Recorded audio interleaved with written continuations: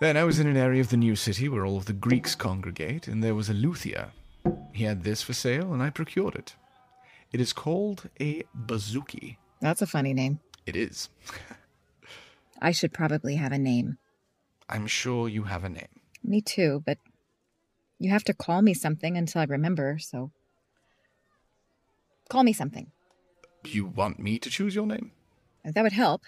Yes, if you would just do it. Clementine. Clementine? Yes. Where did that come from? Means merciful. Merciful. Merciful. Fine. You like it? I do. Okay. Then that's me.